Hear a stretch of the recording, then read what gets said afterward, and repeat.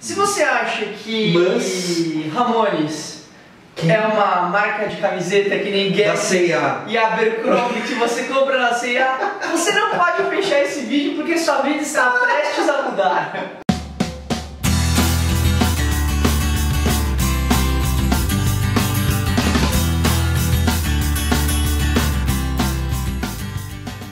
Eu falar de Ramones aqui, foi uma banda lá nos Estados Unidos da América, uma banda de punk rock. New York. City. New York City, Queens, né? Uma região ali bem Pesada. pesada de Nova York.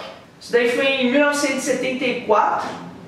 Joe, Joe, Didi, Didi, é, Johnny e Tony Janito, os quatro. começaram a banda. O Exatamente. nome, o produtor chamava Phil Ramone. Porém, dizem que na realidade os Ramones eles pegaram o nome porque quando os Beatles estavam no auge, o Paul McCartney usava um, um- um pseudônimo de Paul Ramon. Ah, Entendeu? Então, é, então dizem que eles os pegaram Ramones do, do povo. do, do Paul McCartney e colocaram, inclusive eles depois a gente vai ver na história, o Ramone ele entra como sobrenome dos, dos músicos. todos são É Joe Ramone, Ramone, Ramone, Johnny. Ramone. Cara, é, os integrantes, o Joey era o vocal, o Johnny era o guitarra, e foram até do começo até o fim. No baixo, contrabaixo, foi o Didi por um tempão, depois foi substituído pelo CJ, né? CJ. E de bateria foi um monte. Começava com o Tommy, depois vieram, mais, é, vieram mais uns É, veio o Mark, o Mark Ramone, né? Ah, vamos, vamos contando, a Vamos gente, contando. a gente já chega. Bom, né? influências na época, vai, a gente está em 1974 nos Estados Unidos. Já tinha uma banda chamada The Velvet Underground do Lou Reed, Lou que eu não gosto muito, Eu não gosto muito do Eu não gosto muito do Reed. Reed. mas é uma banda que influenciou. Sem dúvida. Tinha o MC5, que era uma MC5 banda é do que era do caralho, que eu, É. essa eu gosto. The Studios do nosso Iggy Pop, que era Uma fera Porra, também. uma fera, essa daí eu curtia. Do mesmo jeito lá que tinha o The Cavern lá na Inglaterra pros Beatles, nos Estados Unidos teve um bar muito importante, um clube que se chamava CG...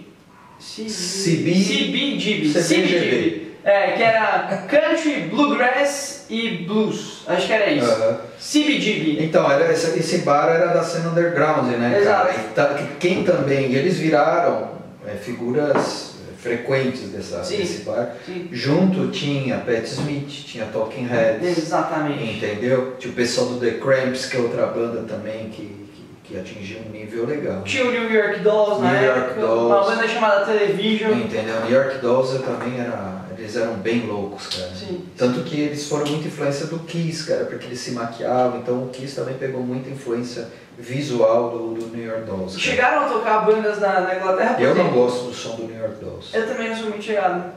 É, chegaram a tocar bandas na Inglaterra, por exemplo. O próprio Sex Pistols tocou no CBGB, o The Police tocou no Bom, cara, CBGB. a, a, os Sex Pistols, era, assim, os shows dele eram sensacionais, né? É, Porque na realidade o Sid Vicious, ele, ele substituiu o Paul Cook do, no baixo. Só que ele não sabia tocar Eu não baixo. sabia nada, só que assim, aí entra o lance do, do Da Malcolm atitude. McLaren visu- Ah. visionário. Visualmente e atitude, quem Ah. tinha era o Sid Vicious, apesar de não saber uma porra de uma nota. Daí que vem essa Ele foi, ele que- foi num show do Texas, cara, que eles fizeram um show no Texas, tipo, ele chegou, cara, meu, ele enfiou o baixo na cabeça de um cara.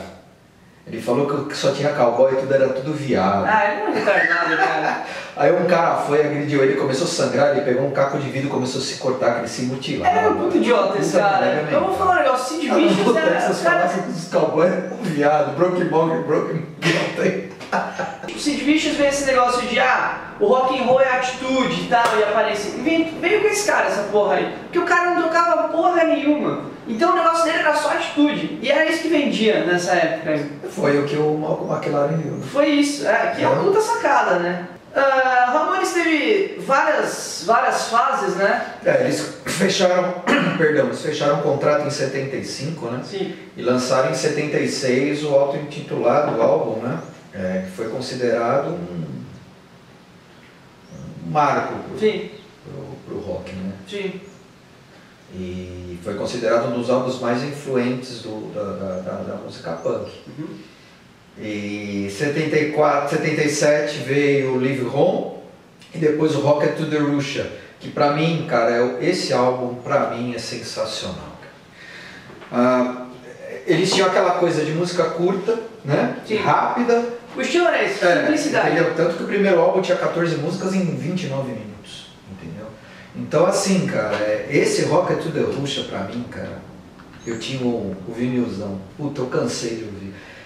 É, Eles fizeram uma, uma versão né, de Surfing Bird. Demais. E com isso eles excursionaram pela América, tal, o show que eles fizeram em, em- em- na Europa. E fizeram uma série de shows na Europa e os shows gravados na Inglaterra, que inclusive quem estava no, no, no espetáculo, no- no- na audiência era o Sex Pistols, o pessoal do Clash também, que é outra banda Sim, punk, vamos colocar assim, sim, sim. que também é um expoente legal também.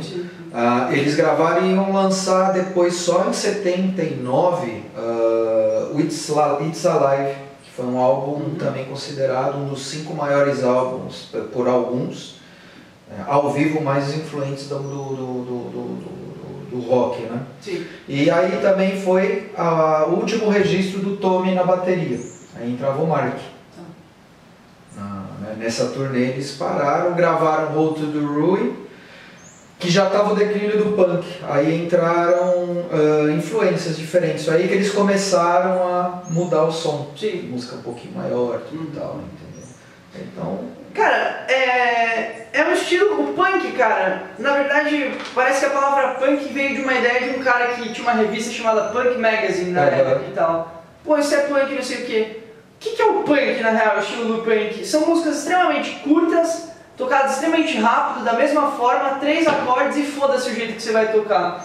Cara, quando eu ouço é, Ramones lá em casa, minha mãe falou assim, André, mas é tudo a mesma coisa É. isso daí. É exatamente É a isso. Você. Ramones é a banda que você vai falar. Todas as músicas são a mesma coisa. Motorhead é a mesma I coisa. wanna be, não sei o que, I wanna be, I don't wanna be, I É. don't wanna be, é tudo É, o isso. Motorhead tem uma influência muito grande do, do, do, do, do Ramones, inclusive o, o, o, o Motorhead. Ele faz a contagem no começo, Ele né? tem, além da contagem, ele tem uma música que chama Ramones. O- Tem, né? O Motorhead tem uma música que chama Ramones. Ramones tem algumas músicas icônicas tipo Biscuit Bob, Pet Cemetery, I Wanna Be Somebody, é, Poison Heart, I Don't Care, Surfing Bird. Eles fizeram uma versão do Louis Armstrong, que eu acho um pé no saco esse cara. Mas eles fizeram aquela música What a Wonderful World ficar legal, um puta cover.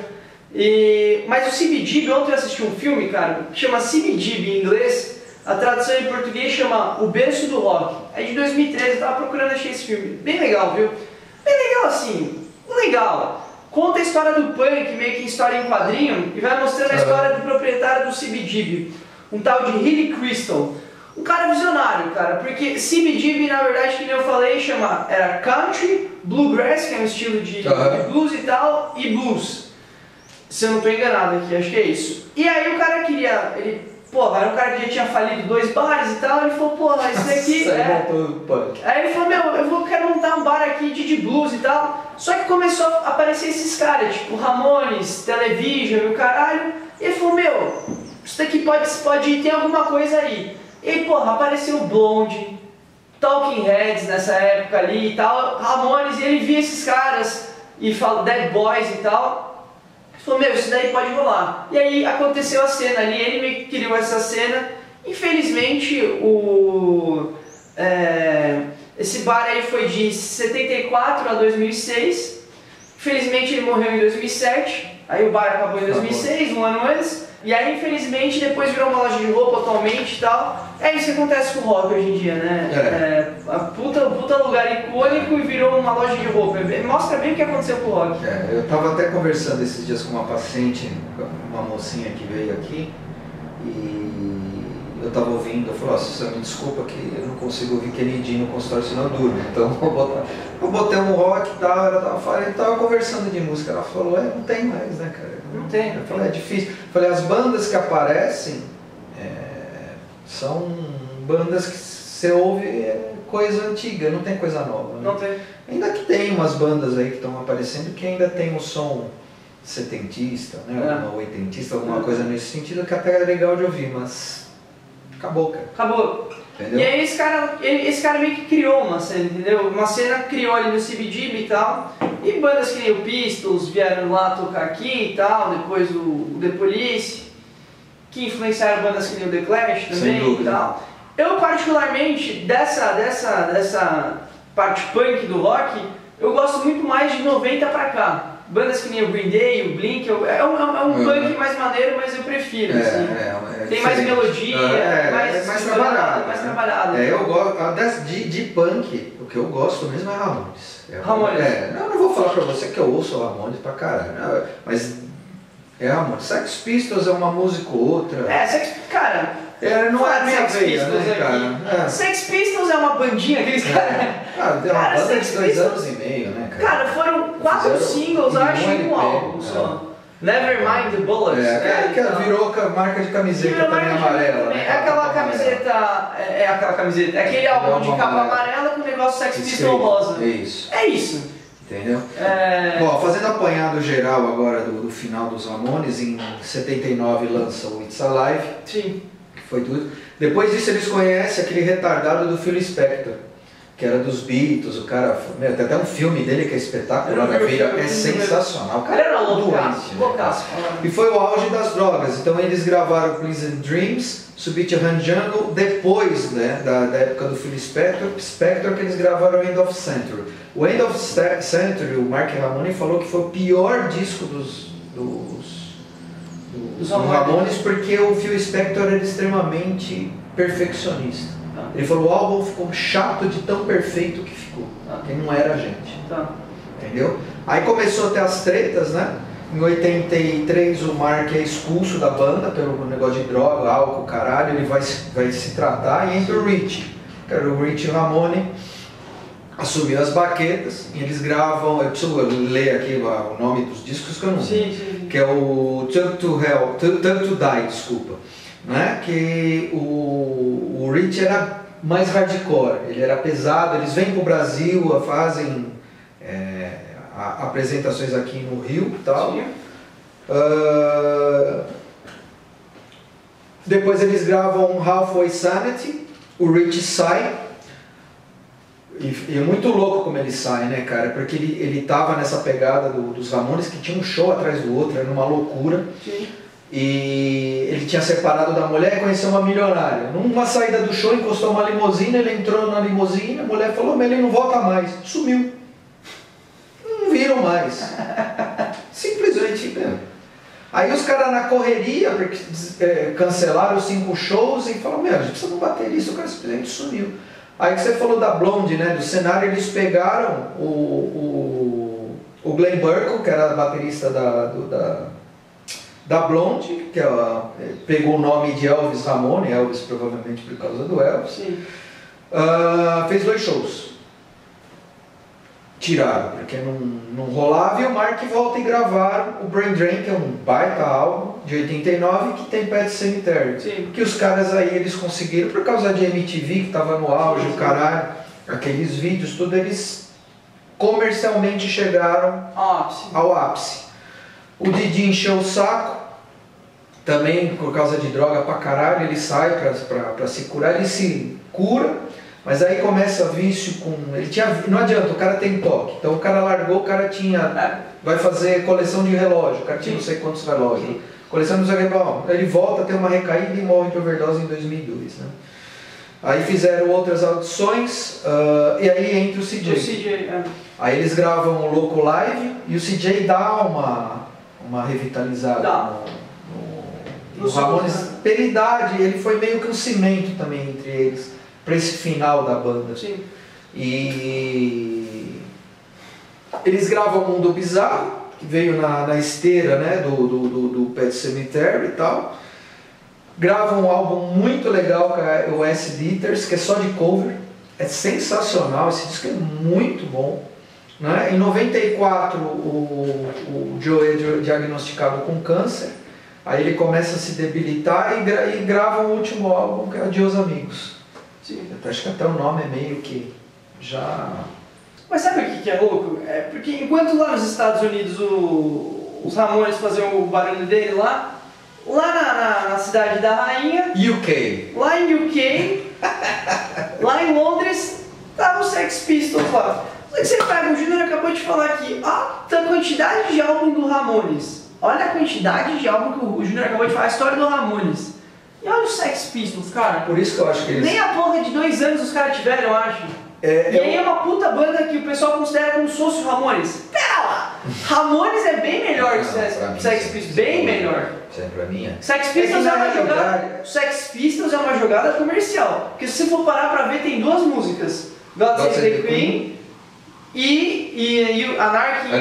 É, só. Cara, é, você vai ficar puto comigo nesse vídeo, mas eu quero que você se foda. É legal a camiseta? Eu também gosto da camiseta, eu acho bonita. Não usaria. Não usaria. Mas, cara, virou marca de camiseta também, cara. The Clash é bem melhor que Sex Eu Pistols. prefiro. Bem eu também melhor. prefiro The Clash. Bem melhor. Musicalmente. Entendeu? pra Tudo bem, mim- foi o precursor lá, o Sex Pistols.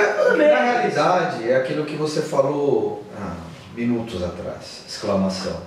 É atitude. Muito por conta do. do, do para mim, o Sex Pistols ficou marcado pelo Sid Vicious.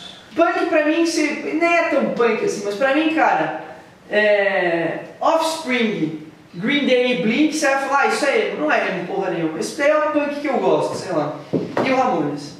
É, é, é diferente. É, E não tem muito o que falar também do Sex Pistols aqui. É, cara, eles essa, fizeram essa, essa- banda aí que, que, que foi ele- mais aparência do é, que eles som. eram mais atitude do que som. É, acabou. Fizeram, nem você falou, duas letras que Chocava. chocavam, É. entendeu? E o visual. O visual dos caras o Sid rasgado. É. corrente no pescoço, né?